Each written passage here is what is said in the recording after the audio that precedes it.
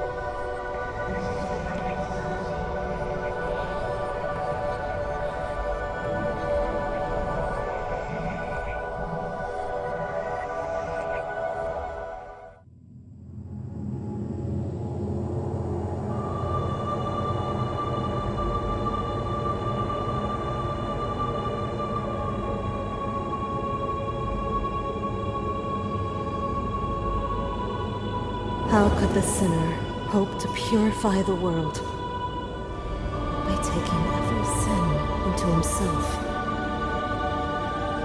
Their sins are mine now. I bear this punishment alone.